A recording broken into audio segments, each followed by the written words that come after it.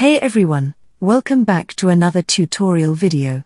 Today, I've got a quick guide for you on how to convert USDT to TRX on Trust Wallet. It's a straightforward process, so let's dive right in. First things first, open up your Trust Wallet on your mobile device. Once you've logged into your account, we're ready to make the conversion. Now, tap on the swap option, which is right over here. In the UPay section, type in USDT. Then, tap on the option Tether. In the UGET section, type in TRX or Tronix, and tap on the option. This will show you the conversion rate, how much USDT you'll pay, and how much TRX you'll receive.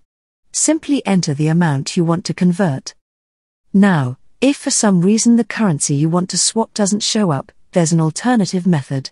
Tap on the browser option at the bottom right of your screen.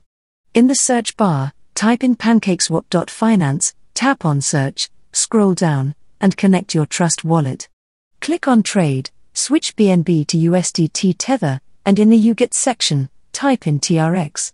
This way, you can also convert USDT to TRX.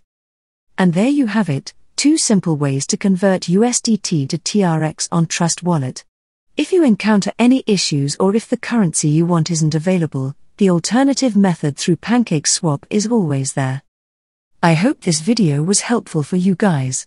If it was, don't forget to hit the like button, subscribe to our channel, and turn on notifications so you won't miss out on future tutorials like these. Thanks for watching, and happy swapping on Trust Wallet.